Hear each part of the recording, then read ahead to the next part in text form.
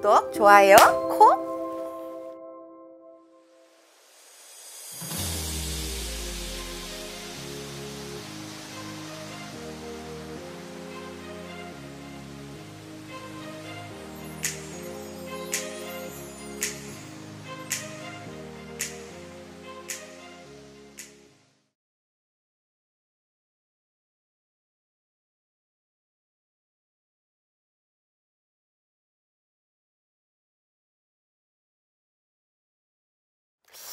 그거를 알 수 있거나 그럴 방법이 있다는 거는 딱 그것도 도안이면 뭐야.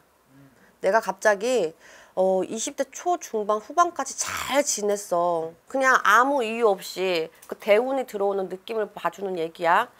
어 무난하게 잘 지내왔거든. 근데 어느 순간 갑자기 바닥을 확 쳐. 그럼 어디 가야 돼? 죽을 둥 살둥이야 내가 지금 낭떠러지 서갖고 내가 죽니만 이러고 있다고 점집 가잖아 안 가?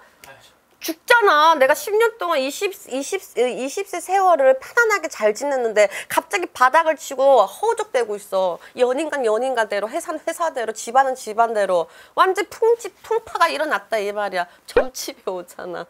그치? 딱 그럴 시기에. 내가 무나 편탄하게 살고 있었는데 갑자기 바닥을 치면 그 사람은 운이 깨지는 게 아니라 대운이 차고 들었는데 뭔가 운이 알려는 시기가 왔구나. 조상의 덕을 볼 시기가 왔구나. 할머니가 할머니한테 끌어주는 이유가 있구나라고 딱 낚아채면 되지. 근데 그런 사람들이 몇 명이나 있겠어? 몇 명이나 있겠냐고 팁 알려줄 때 잘 낚아채란 말이야.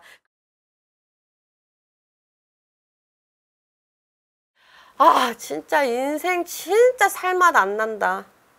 살맛 안 난다로 하지 몇 년을 갖다가 올해 지나고 내년이 됐는데 어떻게 챗바퀴 돌듯이 계속 이러고 있어 내가. 그 사람은 벌써 대운이 들어왔던 지가 한참 된 거야. 이제 대운이 나가려고 하다 보니까 뭔가 확 보여 오 누가 갑자기 10원 한 푼도 없는데 누가 갑자기 돈을 확 금땡이를 던져주면서 너 사업 한번 해봐라 하고 던져준다고. 그때 사람이 어떻게 정신 혼을 놔요? 어, 내 인생에 이런 복권 당첨이 이러면서? 근데 그때 정신줄 놓잖아? 10년의 운이 훅 끝, 끝나는 거야.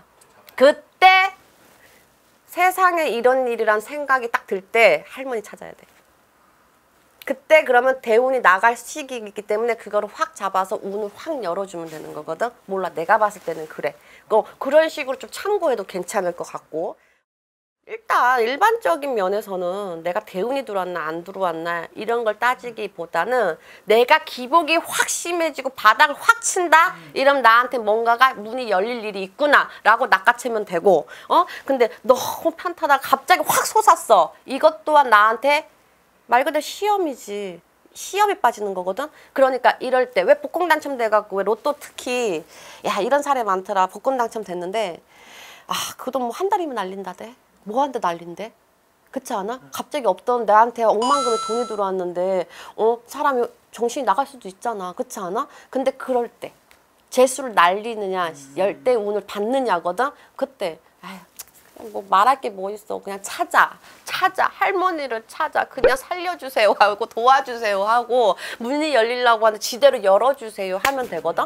이제 이런 거 좀 참고적으로 삼으면 좋지 않을까 다 운을 거꾸로 타고 가고 있어서 속이 뒤집어지는 사람들. 근데 일반인들은 모르지. 자기들이 운이 열려 있는데도 왜 이렇게 안 좋고 그럼 전 운이 열려 있는데 왜 이렇게 안 좋은 일만 생겨요? 이유가 다 있지. 근데 그거를 너가 이렇다 저렇다 내가 어떻게 이렇게 방송에 대고 내가 뭐라고 다 일러줄 수는 없잖아. 사람마다 들어온 부, 들어온 막힘이 다 막힘줄이 틀린 것인데. 그렇지 않을까?